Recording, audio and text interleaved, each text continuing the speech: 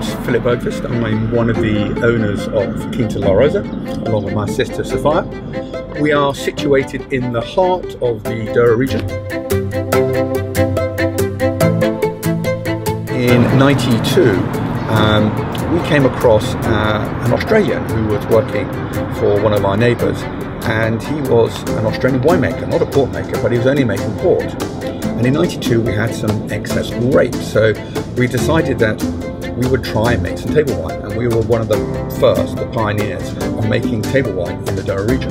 From that day forward, it's, as they say, the rest is history. We started with 15,000 litres of table wine in 92, and last year we produced over 300,000 litres of table wine. I remember being five or six the time I first got into Lagar and started treading the grapes. And it's just been part of my life it's part of my emotion. My heart is in the Douro. My heart is in in the wine. We want a wine that we're proud of that we feel it interprets the region. We're trying to capture the terroir of this of this region. Now people say what is terroir? Terroir is the soil it's the it's the climate it's the aspect but it also goes further than that. It's the way that we have the passion the way we make the wines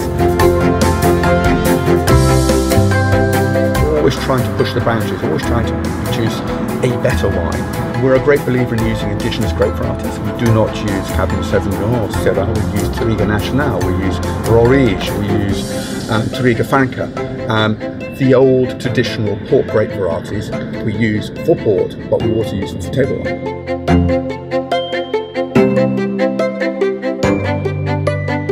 We believe that treading port in old-fashioned granite tanks is the best way.